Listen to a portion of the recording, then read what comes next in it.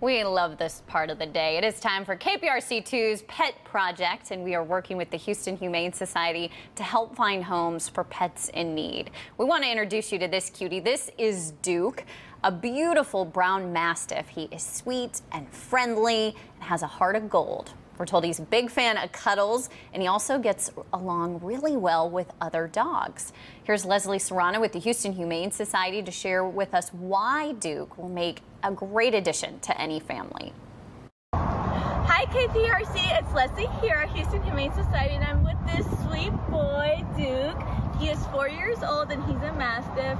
He's been here for a couple of months now. His story is that he actually was an owner surrender. He's actually been in, in foster, so he's great at a house.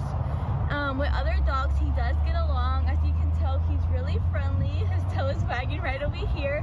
If you're looking for a best companion friend at your home, go ahead and go to Houston Humane Society today and adopt this sweet boy. Oh, Duke, he's such a handsome boy. If you're interested in adopting him, you can meet him at the Houston Humane Society at 14700 Almeda Road. They open in a few hours at 11 o'clock and they close at 530.